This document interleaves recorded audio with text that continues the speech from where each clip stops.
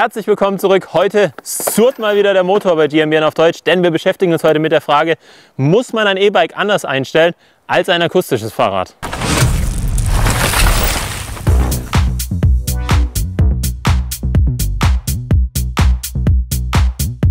Wisst ihr, ich glaube, die Gruppe der E-Bike-Nutzenden spaltet sich massiv in zwei Lager. Auf der einen Seite haben wir die Leute, die sich ein E-Bike als drittes, ach was viertes Rad gekauft haben.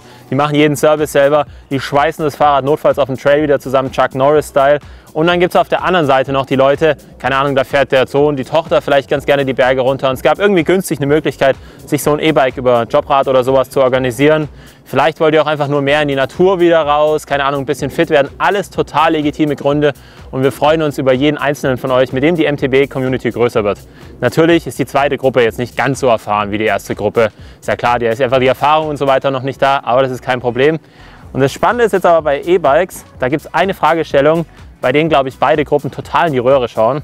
Und da geht es nämlich darum, wie stellt man das Fahrwerk eines E-Bikes richtig ein.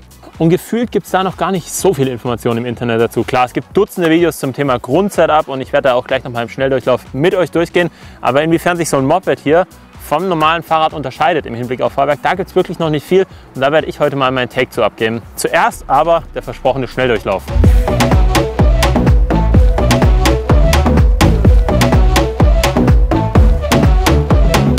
Mir mal 90 Sekunden. Erstens, wir beginnen mit dem SAG oder zu Deutsch auch Negativfederweg. Bei einem Luftfahrwerk könnt ihr den ganz einfach mit einer Dämpferpumpe durch mehr oder weniger Druck im jeweiligen Federelement einstellen. Um euren Sag zu messen, stellt ihr euch in eurem Riding Outfit auf das Rad ruft einen Freund herbei, der das Rad festhält, federt ein paar Mal ein und lasst dann euren Freund den Ring an Gabel und Dämpfer herunterschieben. Jetzt steigt ihr vorsichtig ab und rechnet den Sag mit folgender Formel aus. Distanz, Dichtung bis Ring geteilt durch den Federweg mal 100. Im Gravity-Bereich fahren wir mit mindestens 20% Sag. Solltet ihr darunter liegen, nehmt gerne ein bisschen Luft aus der Gabel raus. Wenn ihr bei weit über 30% landet, solltet ihr euch fragen, ist es wirklich sinnvoll, so weich zu fahren? Dazu später aber mehr. Zweitens, jetzt gilt es, die Zug- und Druckstufe, beziehungsweise auf Englisch Rebound und Compression einzustellen. Der Rebound bestimmt, wie schnell euer Fahrwerk wieder ausfedert und in der Regel kann man am besten die Einstellung für die jeweilige Federhärte oder den entsprechenden Luftdruck auf den Federelementen selbst oder auf der Website des Herstellers herausfinden. Dasselbe gilt übrigens für die Compression. Falls ihr keine Einstellungsvorschläge findet, zählt einmal die möglichen Klicks eurer Gabel und stellt den Rebound auf die Mitte ein. Dann testet ihr auf einer für euch gewöhnlichen Strecke in beide Richtungen, was sich besser anfühlt. Genauso geht ihr jetzt auch bei der Compression Compression vor. Mit der Druckstufe stellt ihr ein, wie schnell das Fahrwerk einfedern soll. Steht eure Gabel komplett auf Minus, spricht man von einer offenen Compression und ihr federt quasi nur auf der Luftkammer oder auf der Stahlfeder. Je weiter ihr zudreht, desto mehr Dämpfung wird hinzugeschaltet. Okay, Zeit ist um. Theoretisch gibt es jetzt noch das Thema der Volumenspacer, zumindest bei Luftfahrwerken. Ist aber ein bisschen komplexer, deswegen schaut euch da einfach mal das Video auf unserem Kanal dazu an. Wird gleich nämlich noch relevant. Ansonsten haben wir auch noch ein längeres Video zum Thema Grundsetup. Auch da gerne mal vorbeischauen. Jetzt aber wieder zur großen Frage, warum muss das Fahrwerk eines E-Bikes anders sein als das eines normalen Mountainbikes? Und dafür muss man sich erstmal vergegenwärtigen, was so anders ist an einem E-Mountainbike als bei einem normalen Fahrrad. Wir haben jetzt hier ein Canyon Spectral On. Das wiegt ungefähr 23 Kilo und das meiste Gewicht davon ist hier unten und hier verbaut. Und das ist eigentlich sogar ganz gut, weil dadurch wird unser Schwerpunkt von diesem Rider-Bike-System ein bisschen nach unten und ganz leicht nach vorne gezogen. Und tieferer Schwerpunkt bedeutet im Endeffekt einfach mehr Grip, mehr Laufruhe und deswegen nehmen wir das dankend erstmal mit. So, Konzentriert man sich also auf das Rad, haben wir jetzt an Unterschieden erstmal nur das Mehrgewicht und den veränderten Schwerpunkt. Dazu kommt natürlich noch der Motor, der für ein bisschen konstantere Kraftübertragung beim Pedalieren sorgt. Muss man jetzt wegen des Mehrgewichts das Fahrwerk ändern? Ja, definitiv. Wenn wir 5 bis 10 Kilo mehr haben, müssen wir definitiv, um denselben Säg zu behalten, ein bisschen die Federhärte anpassen oder ein bisschen mehr Luftdruck reinpumpen. Das ist also mal soweit so klar. Dann haben wir als nächstes den Schwerpunkt, müssen wir deshalb jetzt das Fahrwerk verändern. Hm. Und jetzt wird es ein bisschen schwierig und aber auch spannend, weil nur wegen des Schwerpunkts müssen wir jetzt eigentlich das Fahrwerk erstmal nicht großartig anpassen. Die Frage ist aber eher, müssen wir unser Fahrwerk anpassen, weil der Schwerpunkt, der veränderte Schwerpunkt, unser Riding verändert. Und müssen wir vielleicht das E-Bike-Fahrwerk auch anpassen, weil die anderen Charakteristika des E-Bikes eben unser Fahrstil ändern.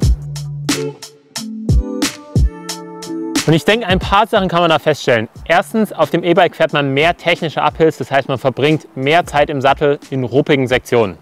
Zweitens, so ein E-Bike schiebt massiv an beim Bremsen und das viel mehr als ein normales Fahrrad. Und das merkt man vor allem daran, dass vor allem die Gabel beim Bremsen ziemlich schnell zusammensackt.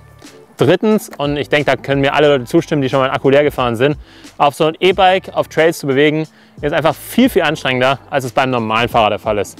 Das heißt, man muss einfach im Oberkörper, in den Beinen, eigentlich im ganzen Körper, einfach mehr körperliche Arbeit leisten. Und viertens, und das mag nur ich sein, aber für mich fühlt sich das Rad wegen dem tiefen Schwerpunkt einfach und auch dem Mehrgewicht ein bisschen stabiler an und oftmals fahre ich selbstbewusstere Linien, als ich das auf einem vergleichbaren Enduro-Bike machen würde. Ich denke, daraus kann man dann ein bisschen schließen und ich weiß, dass es zumindest bei vielen anderen Riders der Fall ist, bei mir definitiv, dass ich auf dem E-Bike, wenn ich in der Freizeit damit unterwegs bin, in so einer Art Panzermodus schalte. Das heißt, ich lasse das Fahrrad ein bisschen mehr machen, ich versuche irgendwie ein bisschen weniger mit dem Trail zu arbeiten, roll einfach drüber. Und ich gehe ein bisschen mehr auf Konfrontation mit dem Trail, kann man glaube ich sagen.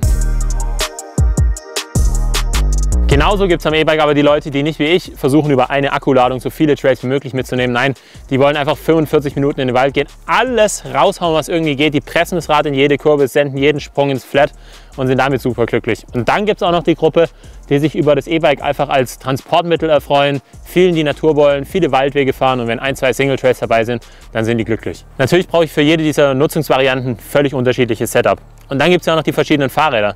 Wenn ich zum Beispiel ein E-Bike habe, das eher konservativ angelegt ist, vielleicht eher für Touren gedacht ist und so weiter und so fort, dann muss ich da, wenn ich mit dem Vollgas fahren will, ein völlig anderes Setup reinhauen, als ich das auf einem E-Bike müsste, das ohnehin schon für Vollgas ausgelegt ist.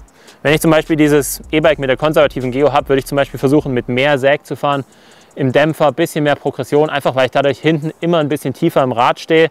Dadurch geht der Lenkwinkel ein bisschen flacher vorne und ich hole noch das letzte bisschen Grip aus dieser wenig aggressiven Geo raus. Wenn ich jetzt in die Panzerrichtung gehen wollte, würde ich versuchen, den Anfang bzw. bis zur Mitte des Federwegs relativ soft zu gestalten, sodass ich die kleinen und mittleren Schläge eigentlich gar nicht mitbekomme.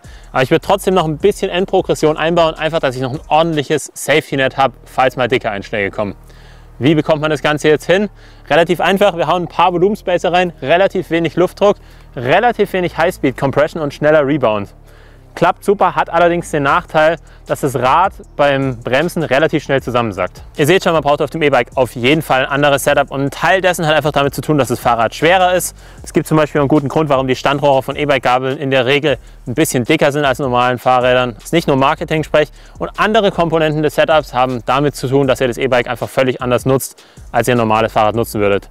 Das Gute für euch, auf dem Weg zu eurem perfekten Setup müsst ihr genau dieselben Schritte machen, wie das auch beim normalen Fahrrad der Fall wäre.